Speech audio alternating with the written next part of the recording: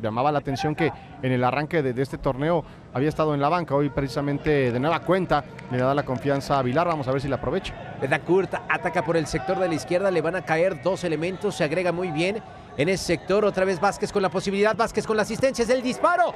¡Gol!